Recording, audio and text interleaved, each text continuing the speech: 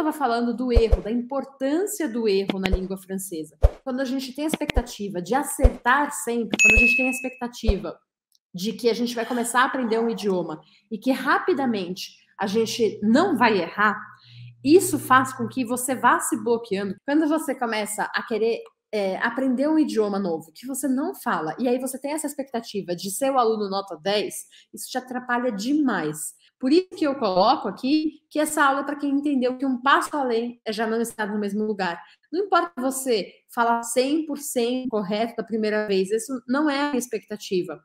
A minha expectativa é que você sempre dê um passo além. Para a gente começar a mergulhar nessa diferença, a gente conseguir fazer a diferença entre melhorar o sotaque ou melhorar a pronúncia, a gente tem que entender a diferença entre essas duas palavras.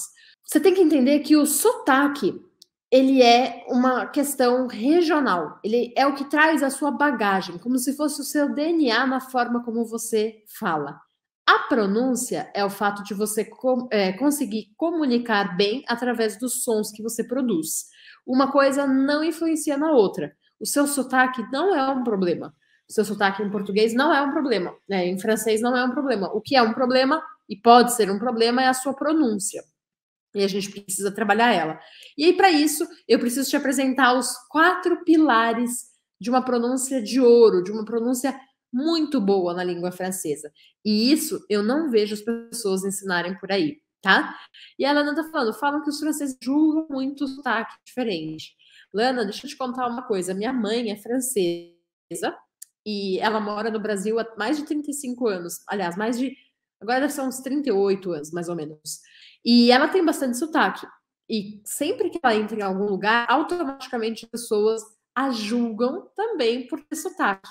Então, esse julgar não necessariamente é negativo ou positivo, né? É uma opinião, a primeira opinião que a gente tem sobre uma pessoa.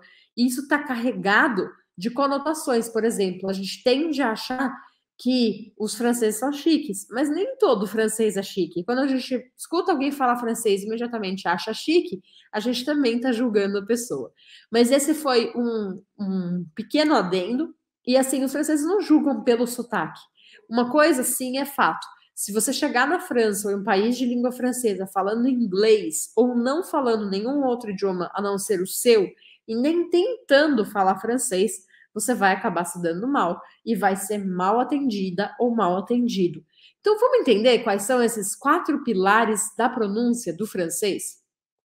Bom, primeiro ponto é a embocadura, que é o formato da sua boca. Por exemplo, quero que você faça um, um, um teste aí comigo. Tenta falar A, mas fazendo boca de I. Então você abre um sorriso e fala A. E, e ok, não fica completamente estranho, mas não dá, quer dizer, fica estranho, mas dá, até que dá para fazer. Agora, um outro teste. Eu queria que você fizesse essa boca de I e falasse O, O, tá? Então faz a boca de I e fala o agora. O, o, o. Não sai. Você reparou? Então, essa é a prova de que automaticamente, quando você muda o formato da sua boca, mesmo que a sua intenção seja fazer determinado som, o som sai ou não sai. Porque é o formato da boca um dos quatro pilares da produção de som. Então, é, quando a gente fala de embocadura, é formar a sua boca. É uma coisa simples. Então, eu mudo o formato da minha boca, eu mudo o som que é produzido. A segunda coisa, a posição da língua. Então, vamos falar assim sobre a posição da língua. Por exemplo, quando eu falo L, L, como eu falo, por exemplo, lá, lá, fala aí o lá, lá, lá. O que, que a sua língua faz? Ela bate em cima logo atrás dos dentes e ela desce. Lá, lá, lá. Né? É um movimento da língua que vai produzir, me ajudar a produzir esse som aqui. Então, o que é que a gente precisa entender?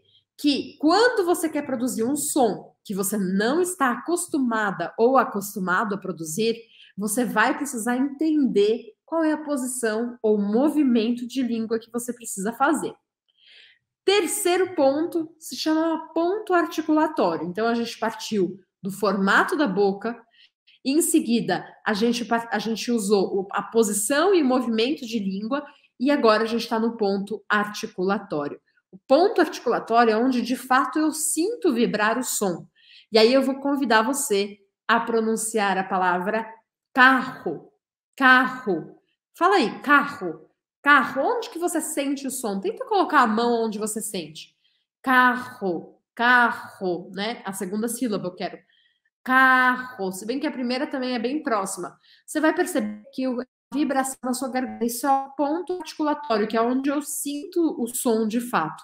E aí, o quarto ponto é claro que é a prática, porque não adianta você saber racionalmente que a posição da sua língua, o formato da sua boca, ou onde você sente vibrar o som, são aspectos importantes da produção de som.